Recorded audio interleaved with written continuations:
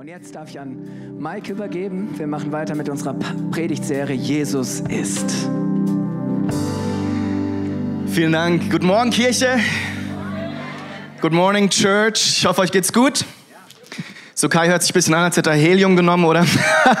ich finde es so cool, dass du trotzdem hier Gottesdienst leitest und uns so mit reinnimmst in das, was Gott auf dem Herzen hat. Das ist so stark. Und wisst ihr, was ich auch total feier?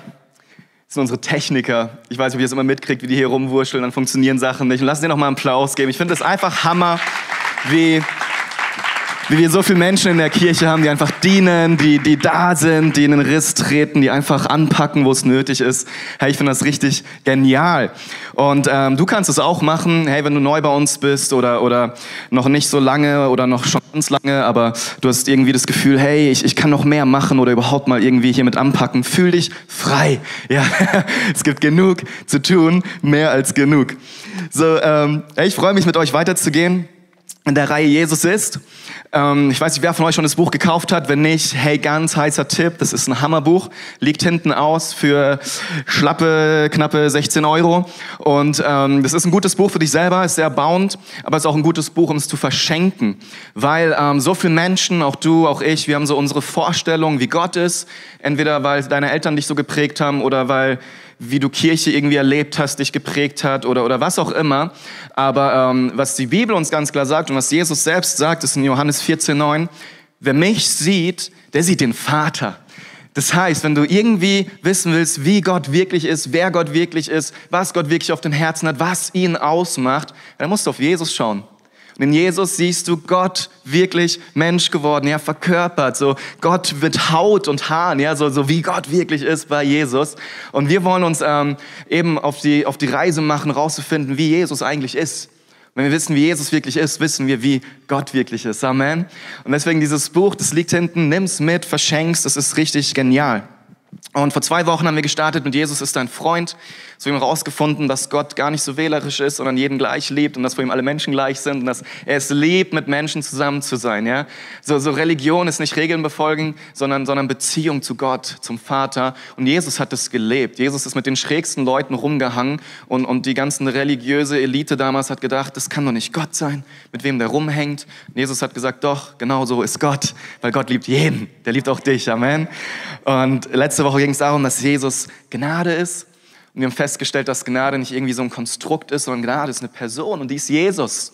Und wenn du Gnade erleben willst, dann, dann musst du Jesus kennenlernen, musst du ihn erleben, darfst du ihn annehmen in dein Leben. Das ist das Wundervollste, was dir passieren kann. Und heute geht es darum, dass Jesus die Hauptsache ist. Jesus ist die Hauptsache. Und ich wollte dich mit reinnehmen und, und bevor wir richtig durchstarten, will ich nochmal kurz beten. Ist okay? Cool. Jesus, ich danke dir, dass du heute Morgen hier bist, weil du es versprochen hast. Ich danke dir, dass ähm, wir heute Morgen von dir hören dürfen, weil du bist einfach Gott und du bist Jesus und wir lieben dich und wir feiern dich heute Morgen.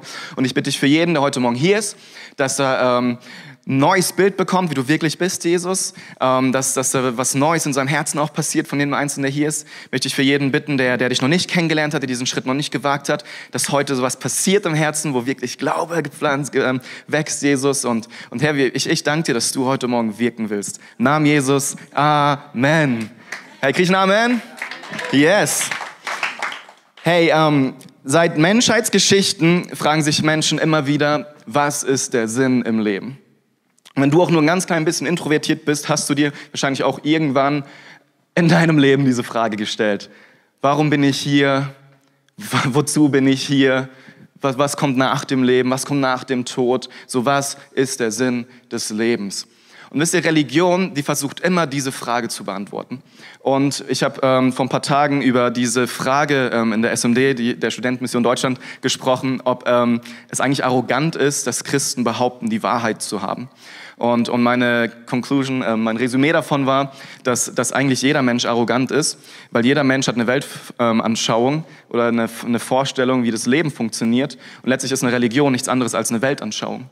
Weil die Religion beantwortet dir, hey, warum bist du da? Wozu bist du da? Was ist das Wichtigste, was du eigentlich tun solltest? Und was kommt nach dem Tod? Entweder du bist super areligiös oder, der, der, oder voll der Atheist oder du glaubst an irgendeine andere Religion. Letztlich bist du vollkommen überzeugt davon, sonst würdest du ja nicht dran glauben. Wenn du nicht überzeugt davon bist, suchst du dir irgendwas anderes. Und so hat jeder eine Weltanschauung, jeder eine Weltvorstellung, jeder hat irgendwas, was ihn antreibt, was seine Moral bestimmt, seine Wertvorstellung. und somit ist tatsächlich jeder Mensch arrogant, weil jeder Mensch denkt, er hat das Richtige, oder? Ähm, das ist jetzt extrem verkürzt. Wenn du denkst, oh, ich weiß nicht, ob das stimmt, ja, dann, dann komm auf mich zu, erkläre ich es dir nochmal.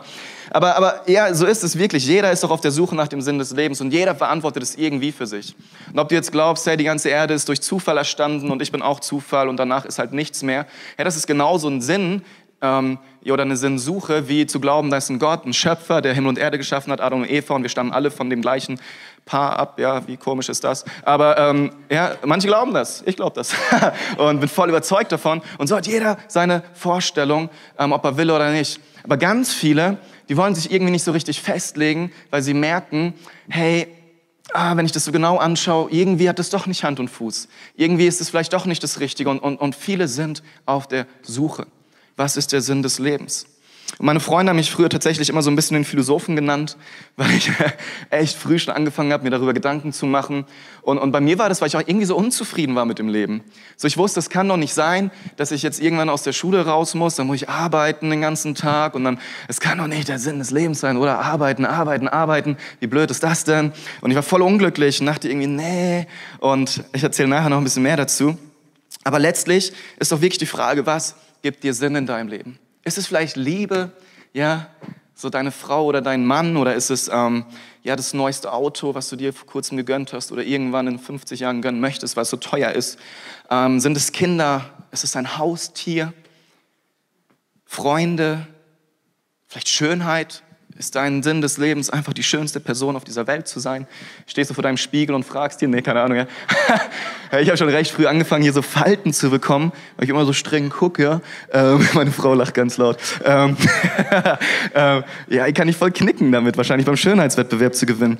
Ähm, Hey, oder, oder ist dein Lebenssinn das Wochenende nach der Arbeit, so richtig einen draufzuhauen? Ja, Freitag bis nachts um fünf Party, yeah! Und Samstag den Kater auszuschlafen, um dann abends wieder zu starten.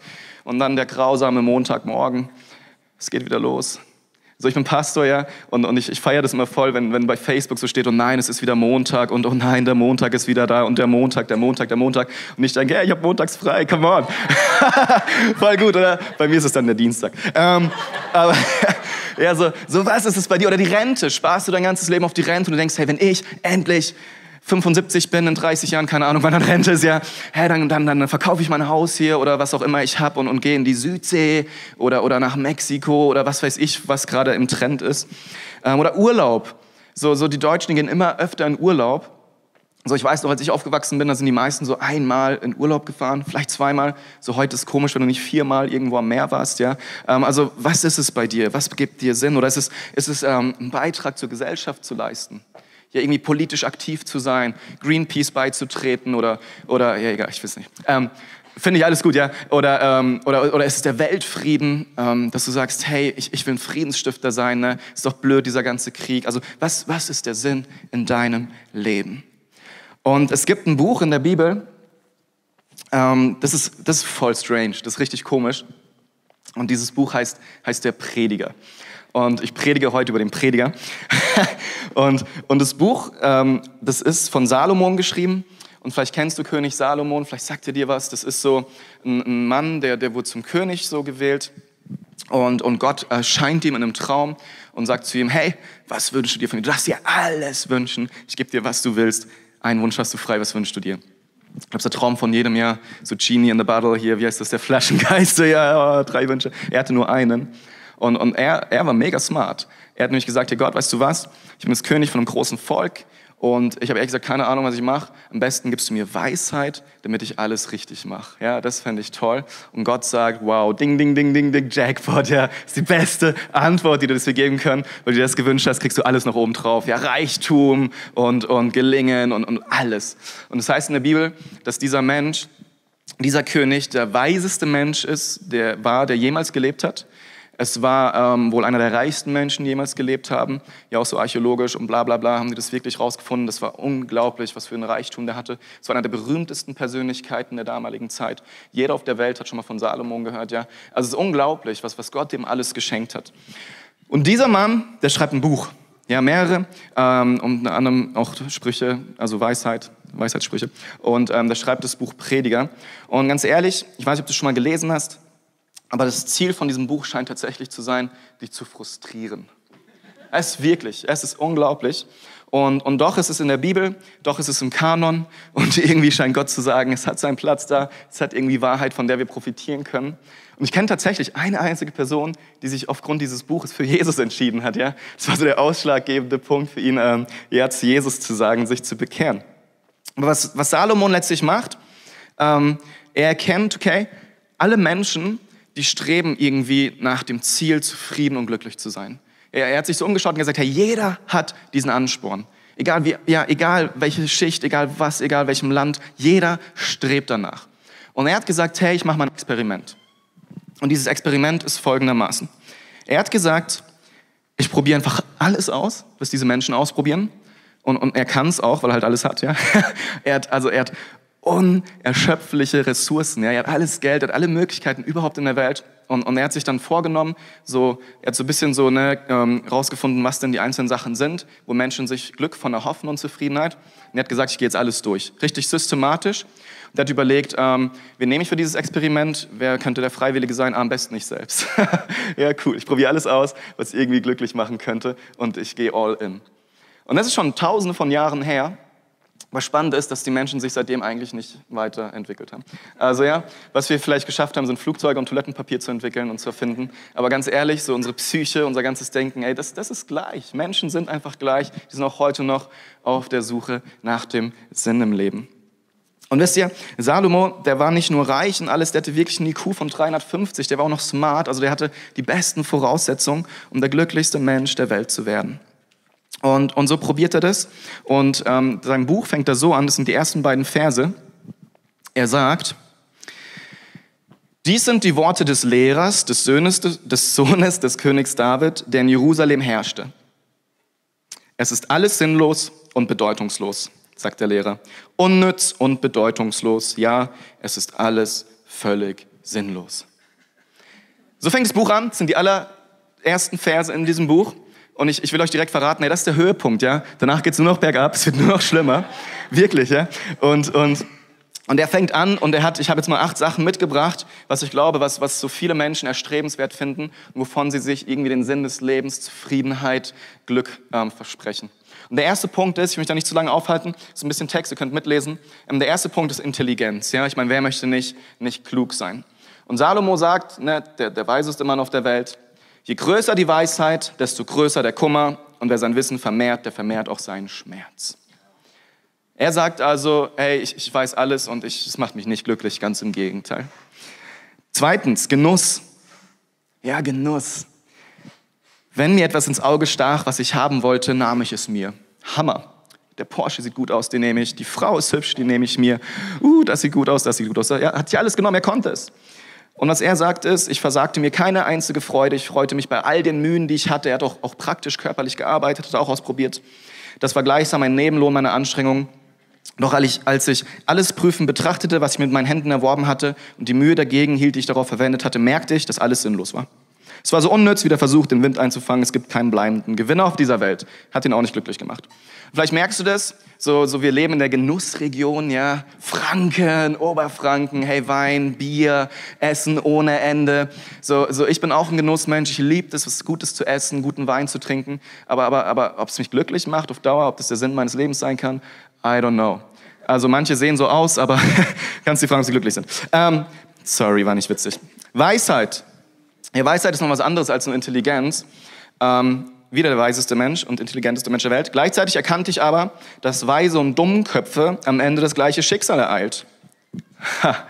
Da dachte ich mir, wenn es mir genauso gehen wird wie dem Dummkopf, was hat es dann für einen Sinn, dass ich mich so um Weisheit bemüht habe? Und ich sagte mir, das ist doch unnütz. Man erinnert sich an den Weisen ebenso wenig wie an den Dummen. Später in der Zukunft wird sowieso alles vergessen sein. Der Weise muss genauso sterben wie der Dummkopf. Ja, hart, aber wahr. Viertens, Arbeit. Denn es ist so, ein Mensch müht sich ab, gibt Weisheit, Einsicht, sein ganzes Geschick daran, etwas zu erreichen.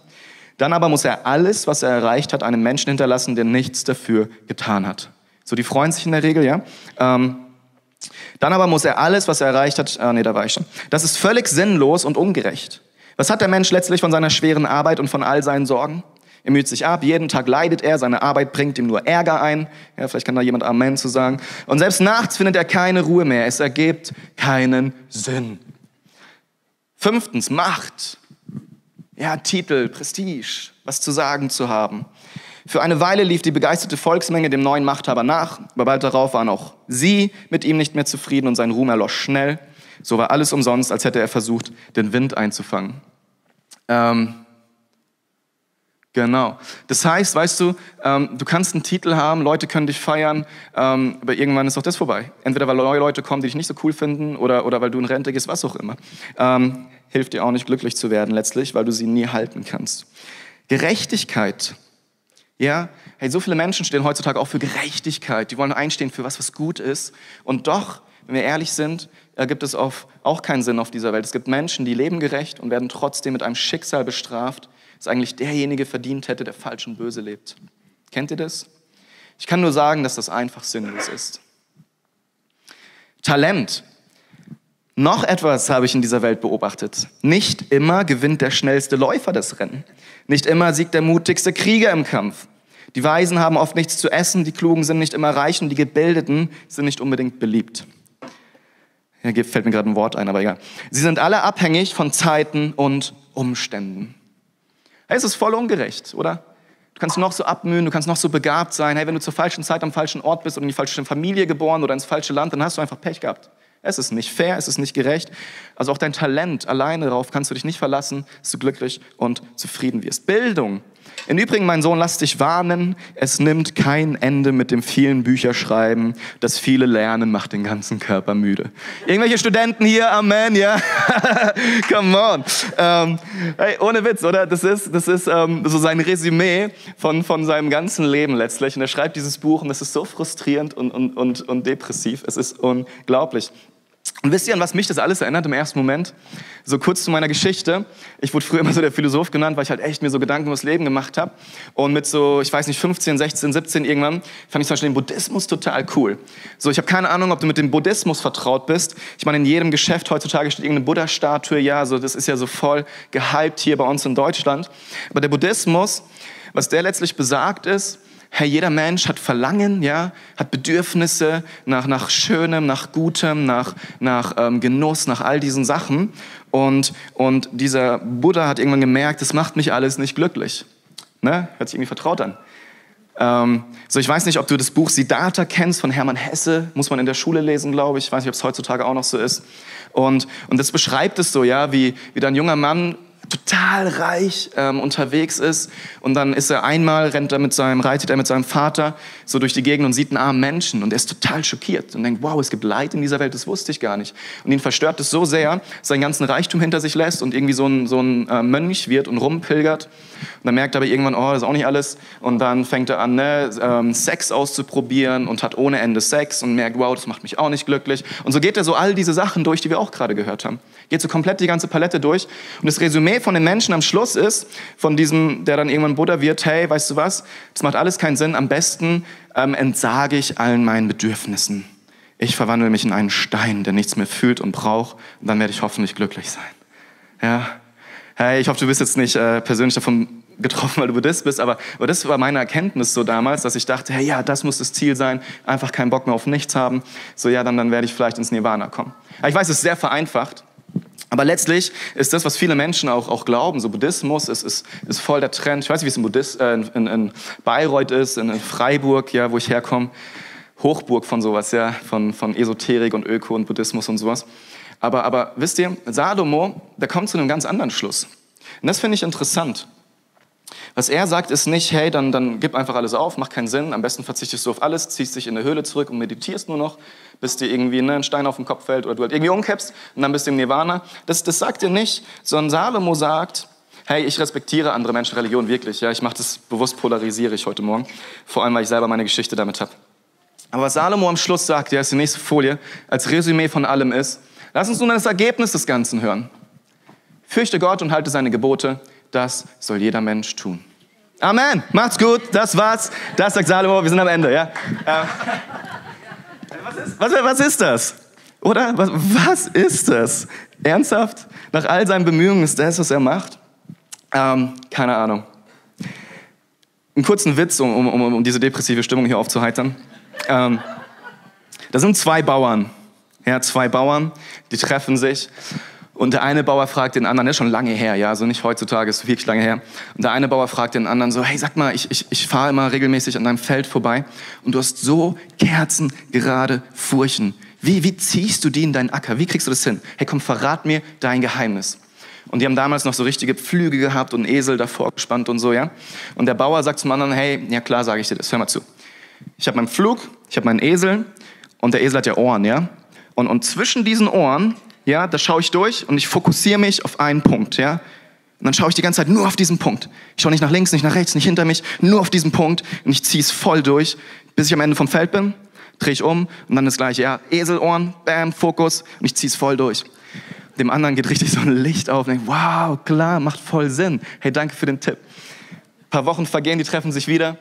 Der Bauer fragt den anderen, hey und, und, und, und wie sehen deine Furchen so aus? Wie ist es gelaufen? und, und der Bauer so, ja, äh, hm, geht. Ja, wie geht? Ja, meine, meine Furchen, die sind so, so krumm und schief irgendwie. Ich verstehe das nicht. Ich habe genau gemacht, was du gesagt hast. Elsas Ohren, Fokus. Funktioniert nicht. Der andere voll überrascht und sagt, hast du dich umgedreht oder so? Oder umgedreht? Nee, gar, wirklich fokussiert. Und dann fragt ihn auf was hast du dich denn fokussiert? Ja, ich habe mir extra was Großes genommen, damit ich sie ja nicht aus dem Blick verlieren kann und habe meine Kuh gewählt. Gleich geklickt, come on. Ähm, totaler Quatsch, oder? Ähm, ja, muss ich nicht erklären. Kuh bewegt sich, ja, läuft rum, bringt da gar nichts. Und, und die Frage ist, hey, ähm, Salomos Resümee, sein, sein Blick aufs Leben ist letztlich, ja, sein Fokus ist zu sagen, fürchte Gott und, und halt seine Gebote. Und letztlich, wenn das ein Resümee ist, bedeutet das, dann bist du glücklich. Krass, oder? Ähm, was ist dein Fokus in deinem Leben? Was ist dein Fokus in deinem Leben? Wir hatten es am Anfang schon, ähm, ne? so mit, mit, mit all diesen Möglichkeiten, wo, wo Menschen sich ähm, Hoffnung von versprechen, den Sinn ihres Lebens zu finden. Aber was ist es bei dir? Ist es Karriere? Ist es ähm, Besitz? So, ich weiß nicht, wie es dir geht, aber in meiner Garage steht irgendwie voller Zeug und jetzt ist Winter, ja, und, und so viele von uns haben so viel Zeug, ja, und die Garagen ist voll und die Autos stehen alle davor. Und weißt du, dann hast du so ein paar hundert Euro in deiner Garage, aber dein tausend Euro Auto steht vor der Garage. Das macht überhaupt keinen Sinn eigentlich, aber wir haben, wir haben alle so viel Zeug, gerade hier im Westen. Ist, ist, ist das dein, dein Ziel? Denkst du, das macht dich glücklich? So, oder, oder, oder was treibt dich an? Wonach sehnst du dich? Was, was, was gibt dir Sinn in deinem Leben? Was ist dein Fokus? Worauf, worauf richtest du dich aus? Das ist eine ganz entscheidende Frage, weil, das ist ganz wichtig, ja, ähm, dein Fokus bestimmt deine Standfestigkeit in deinem Leben. Hey, dein Fokus bestimmt deine Standfestigkeit.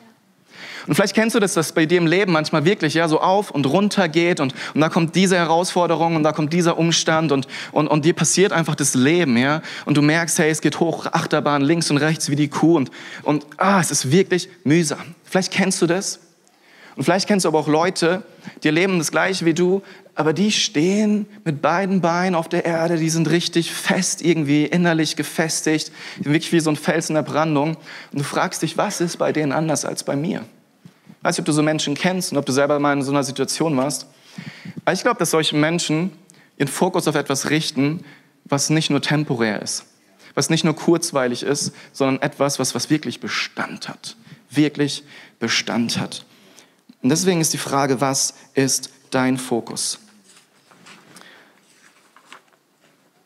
Ist es Geld? Ist deine Hoffnung vielleicht wirklich Geld, dass du hoffst, hey, wenn ich nur genug auf meinem Bankkonto habe, wenn ich nur genug in Aktien angelegt und in Immobilien, dann geht es mir gut?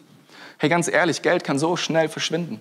Hey, du, du machst die Augen auf, dein Geld kann weg sein. Wie viele Menschen erleben das immer wieder, weil sie entweder ähm, sich tatsächlich verkalkuliert haben, ins Falsche investiert oder was auch immer. Ich habe einen Freund, der macht viel mit Aktien, der hat jetzt in den letzten zwei Wochen 4000 Euro verloren, weil die ganzen Aktienkurse gerade extrem abstürzen. Ja? Mir sagt er die ganze Zeit, jetzt investieren, es lohnt sich, weil die stürzen. Keine Ahnung, ja. Aber, aber Geld ist, ist, ist das dein Fokus? Ich kenne so viele, was heißt so viele? Ich, ich kenne einige, die, die, die spielen Lotto, weil sie sagen, hey, wenn ich gewinne, dann bin ich glücklich. Dann habe ich Geld. Und ich weiß nicht, ob du so Interviews kennst mit Neureichen, die sehen nicht alle so glücklich aus. Besitz hatten wir schon, ist es dein Titel? Ja. Willst du irgendwie vielleicht der CEO werden oder, oder wenigstens mal der technische Leiter oder, oder was, was ist da dein Ziel? Ganz ehrlich, wenn das deine Identität ist und wenn das das ist, was dir Halt gibt im Leben, spätestens mit der Rente ist auch das vorbei, oder? Und wie viele Menschen, gerade Männer, wenn, wenn die in die Rente kommen, hey, die wissen nichts mehr mit sich anzufangen. Die wissen nichts mehr mit sich anzufangen. Weil plötzlich ist das, was sie ihr Leben lang ausgemacht hat, wo sie einen Halt drin hatten, ihre Hoffnung drin hatten, ihren Sinn drin hatten, ist weg. Hallo Herr so und so, hallo Herr Doktor so und so und alle nicken und, und, und du denkst, wow, und dann, dann bist du niemand mehr. Es ist eine Person, es ist Liebe. Ist das dein Ziel? Glücklich bis ans Lebensende. Ja, wie viele erleben das? Wisst ihr, meine Frau ist tatsächlich das zweitbeste in meinem Leben. Ja, wirklich. Hast du schon jemals ein Lied gehört? Du bist das zweitbeste, was mir je passiert ist. Ja, voll komisch. Solche Lieder gibt's nicht. Hey, du bist das Beste, das Allerbeste. Hey, wenn ich nur dich hab, so ja. Ey, meine Frau weiß, dass sie nur das zweitbeste ist, weil mein Bestes ist Jesus. Und sie findet das voll okay. Und ich bin auch nicht ihr Bestes, sondern nur ihr Zweitbestes, weil ihr Bestes ist auch Jesus. Herr, und ich finde das super, weil ich weiß, ich kann mich nicht, ich kann mein Fokuspoint, ja, mein, mein Fokus kann ich nicht auf meine Frau legen. Hey, natürlich gibt sie mir Halt und, und sie stärkt mir den Rücken und, und, und was wäre ich ohne sie? Gar keine Frage. Aber, aber wer weiß, was das Leben bringt.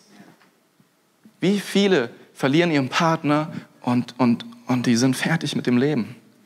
Und ich will das gar nicht leicht sprechen, ja, also ich möchte mir das gar nicht vorstellen, aber, aber mein Halt kann es nicht sein. Nicht mein einziger Halt. Kinder. Vielleicht sind es bei dir die Kinder. Hey, ich liebe meine Kinder. Ja, meistens. ja, hey, aber, aber ganz ehrlich, ich liebe meine Kinder. Wie viele Ehepaare sind auch die Kinder plötzlich der Fokus? Wie viele Ehen gehen auseinander, wenn die Kinder aus dem Haus sind? Weil die merken, wow, wir, wir haben uns voll aus den Augen verloren, weil wir nur noch unsere Kinder im Fokus hatten. Und, und, und es gibt auch ja gerade Mütter wahrscheinlich, die so, wow, mein Kind, meine Tochter, ähm, Väter natürlich auch, ich bin so stolz auf meine Jungs, come on. Aber irgendwann ziehen sie auch aus. Ja, hoffentlich, denken manche. ja, irgendwann, bei mir wird es noch sehr lange dauern, die sind dreieinhalb und fünf Monate. Ähm, ja, oder, oder, oder was ist, wenn die anfangen zu rebellieren im, im Teenageralter? Hey, meiner macht es schon mit drei. Ja, ich, ich erst letzte Woche, ist hart. Hey, letzte Woche, ich bin zum Kindergarten, wollte Judah abholen und er hat mit meiner Frau gerechnet, mit der Heather. Und, und ohne Witz, ja, das ist, ist nicht übertrieben. Ich mache die Tür auf und, und die Erzieherin ruft den Judah und er kommt, sieht mich. Und er fängt an zu heulen und zu schreien und sagt, nicht die Mama, ja, vielleicht kennst du das noch, die Dinos, so eine Serie früher, ja, dieses komische, nicht die Mama. Und er hat geheult sich auf den Boden. Ich dachte, Mann, und die Erzieherin haben gelacht, es war so peinlich, ich dachte, really? Du kriegst keine Süßigkeiten heute, ja? Äh, tat voll weh. Ähm, ich meine, unser Sohn, ich weiß auch nicht, der ist manchmal nicht so flexibel. Ähm, ja, ist hart gewesen, ja, es ist mit drei. Ich dachte, ich bin sein Held, meistens bin ich es auch. Come on. Ähm, Gesundheit, was mit Gesundheit? Vielleicht bist du auch voll der sportliche Athlet und, und du sagst, hey, ich bin, ne, bam, ich gehe jeden Tag pumpen und rennen und was weiß ich was. Vielleicht ist das dein, deine Identität und dein Fokus und, und das, was dir Sinn im Leben gibt. Aber was machst du, wenn Krankheit kommt? Hey, so viele Menschen werden krank. Und wir leben in so einer aufgeklärten, fortschrittlichen Gesellschaft und trotzdem, ich habe das Gefühl, jeden zweiten Tag höre ich von jemandem, der Krebs bekommt oder das bekommt oder das. Ja, das ist furchtbar. Aber was passiert, wenn es dir so den Boden unter den Füßen wegzieht? Wenn du plötzlich eine Diagnose bekommst. Ja, und du kannst nicht mehr Sport machen. Du merkst, wow, ich bin eingeschränkt. Hey, es gibt so viele Dinge und alles ist vorübergehend. Und die Frage ist, was ist dein Fokus? Weil der Fokus bestimmt deine Standfestigkeit. Dein Fokus bestimmt, wie fest du auf dieser Erde in deinem Leben stehst. Und wisst ihr, Geld kann Zufriedenheit kaufen. Es macht Spaß, sich Dinge anzuschaffen. Ja, ich, ich es auch, mir irgendwas zu gönnen. Ich finde das super. Aber es ist einfach kein Zustand, der anhält. Genauso wie Alkohol oder Drogen. Ja? Du hast diesen Kick und der hält ein paar Stunden an, das ist super. Aber danach fühlst du dich doch leerer als jemals zuvor. Was ist dein Fokus in deinem Leben? Wisst ihr, wovon ich vollkommen überzeugt bin? Ich glaube, den Sinn deines Lebens findest du nicht in diesem Leben. Ich bin überzeugt, dass du den Sinn deines Lebens nicht in diesem Leben findest. Das ist, weil alle Menschen versuchen. Sie versuchen, ihren Sinn in ihrem Leben zu finden. Ich möchte heute Morgen sagen, du findest den Sinn in diesem Leben nicht in diesem Leben. Ja, denk mal drüber nach. Ironischerweise ist es tatsächlich so. Wir sind so oft gefangen in unserer eigenen kleinen Welt. Ja, wir denken so, wir sind, sind, sind irgendwie die Schlüsselperson, wir sind die Hauptrolle. Aber, aber so ist es nicht. Tatsächlich dreht sich diese ganze Welt und dein ganzes Leben, ob du es wahrhaben willst oder nicht, um Gott. Weil Gott ist das Zentrum Er ist die Hauptrolle und du bist nur die Nebenrolle. Vielleicht sogar nur eine kleine Nebenrolle. Und es tut ganz schön weh erstmal, oder? In unserem Individualismus und egozentrischem Dasein. Hey, aber wenn du dich selbst in den Fokus setzt, wirst du niemals zufrieden und glücklich, wie du dir das wünschst. Du bist Teil von etwas viel Größerem. Hey, es gibt eine Ewigkeit. Es gibt wirklich eine Ewigkeit. Und du entscheidest in diesem Leben, wo du diese Ewigkeit verbringst, ob er rettet im Himmel oder nicht. Ich bin überzeugt, dass Himmel real ist, dass die Hölle real ist. Ja, davon wollen wir in unserem 21. Jahrhundert nichts hören. Das ist irgendwie so Mittelalter. Aber es gibt einen Gott und es gibt Jesus, der auf die Welt gekommen ist. Der ist am Kreuz gestorben. Wofür? Nicht, dass du ein besseres Leben hast, sondern dass du errettet bist. Errettet von was? Vor ewiger Verdammnis und Verlorenheit. Ja, das ist die gute Nachricht, dass jemand gekommen ist, um dir deine Schuld zu vergeben, weil wir können Gott niemals genügen. Amen. Vielleicht kann die Band nach vorne kommen. Ähm,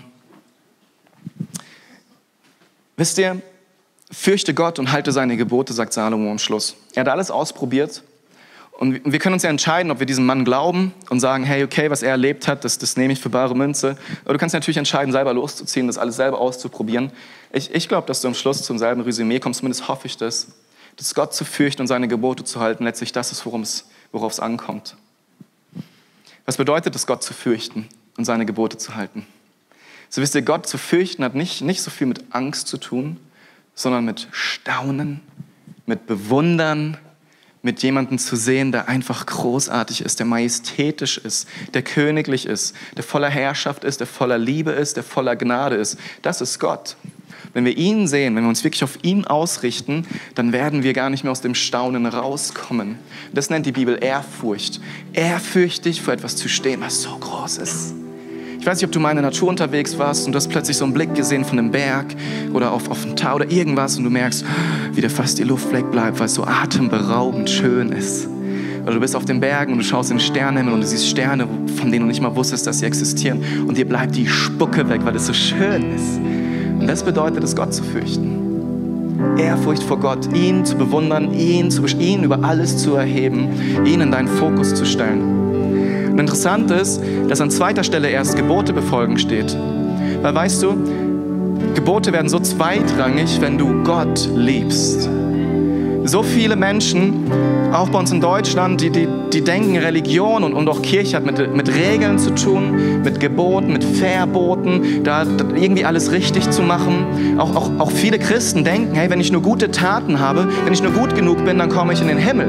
Ja, ich muss nur diese Regeln befolgen. Nee, überhaupt nicht. Es hat überhaupt nichts damit zu tun, Gott zu lieben, Gott zu lieben, ihn anzuschauen, ihn zu erkennen, ihn in den Mittelpunkt zu stellen, das wird dich frei machen, das wird dich erheben über deine Umstände, das wird dich glücklich machen.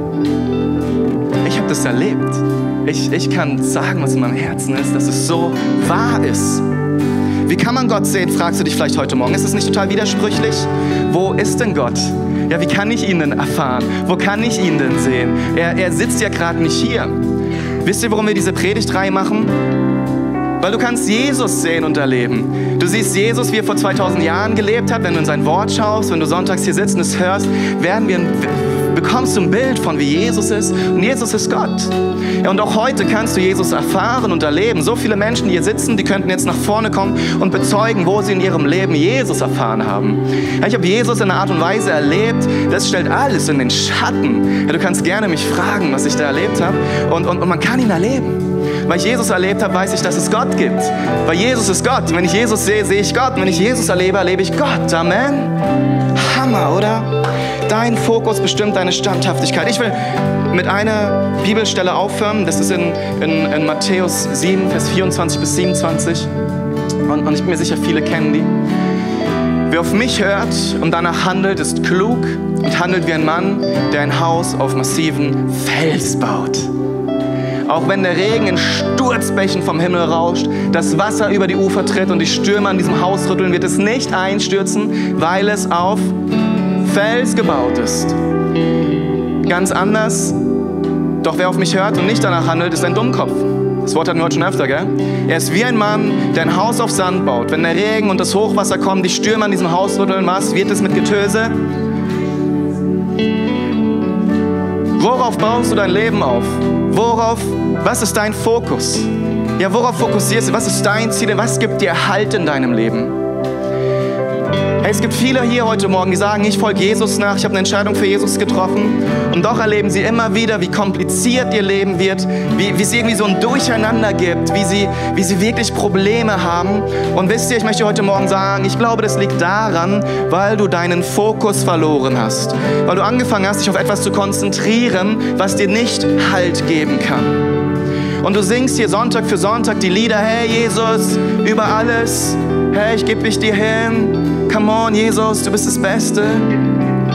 Und dann Montagmorgen leben sie so, als würde alles allein von ihnen abhängen. Und die sind gestresst und sie sind genervt und, und sie sind so überfordert.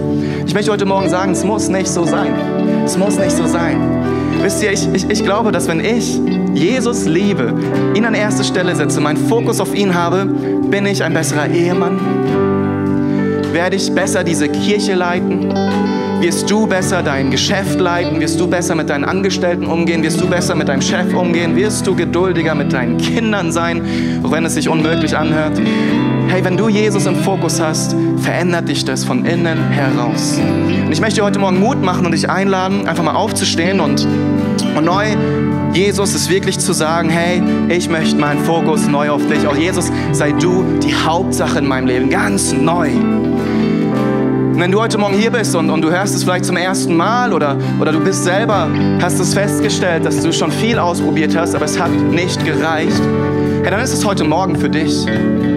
Wisst ihr, ich bin mit 17 von zu Hause rausgeworfen worden. Ich habe dann bei meinem Onkel gelebt, der war super reich. Er hatte eine Haushälterin, wir haben jeden Tag das Feinste gegessen. Ich wurde mit Armani und Gucci eingekleidet. Ja, der hat fette Autos gehabt. Ich habe das, das eine Zeit lang erlebt, hat mich nicht glücklich gemacht. Ja, ich bin von der Schule geflogen, habe lauter Sachen gemacht, auf die ich Bock hatte. Frauen gehabt, Drogen, Alkohol, alles ausprobiert, hat mich nicht glücklich gemacht. Ich habe geheiratet, Kinder bekommen. Hey, ist cool, aber, aber es erfüllt mich nicht so, wie ich dachte. Hey, ich, ich arbeite, ich verdiene Geld. Geld, ich leiste mir Sachen, aber, aber es macht mich auch nicht so glücklich. Es ist, es ist egal, was ich ausprobiere, es ist schön. Hey, und ich liebe es, das Leben zu genießen, gar keine Frage, aber letztlich gibt es mir nicht den Halt, den ich mir davon erhoffe. Und ich weiß, es ist Jesus. Und ich weiß, ja, lass uns Jesus einen Applaus geben. Und ich habe selbst auch oft genug erfahren, was passiert, wenn ich das aus dem Fokus verliere und wieder es einschleicht, dass doch was anderes vielleicht besser ist. Aber es funktioniert niemals. Zumindest nicht für mich. Und ich glaube, das ist eine geistliche Wahrheit, deswegen bin ich überzeugt, funktioniert das auch nicht für dich. Wenn du heute Morgen hier bist und du bist ehrlich zu dir selbst, wirst du das erkennen, dass dich nichts durch das Leben tragen wird, außer Jesus. Wenn du Jesus hast, wenn du Jesus zur Hauptsache machst, wenn Jesus dein Fokus ist, dann stehst du auf diesem Fels, dann ist egal, was das Leben bringt, dann ist egal, was dir weggenommen wird, dann ist egal, was zusammenbricht, dann ist egal, was dir begegnet. Du kannst feststehen, weil eine Sache kann dir nichts und niemand wegnehmen. Und das ist Jesus. Weil Jesus ist in deinem Herzen, Jesus ist deine Wahrheit. Und egal was kommt, diesen Jesus kann dir niemand jemals wegnehmen. Und das ist die Wahrheit, die ich dir heute Morgen ganz neu sagen möchte. Egal wo du durchgehst, Jesus kann dir niemand wegnehmen. Wenn du deine Füße auf Jesus stellst, wenn du dich auf Jesus ausrichtest, wirst du der glücklichste und zufriedenste Mensch sein, den diese Erde jemals gesehen hat. Amen. Hey, lass uns Gott nochmal anbeten. Lass uns ihm nochmal ein Lied singen. Lass uns ihm das nochmal zusingen.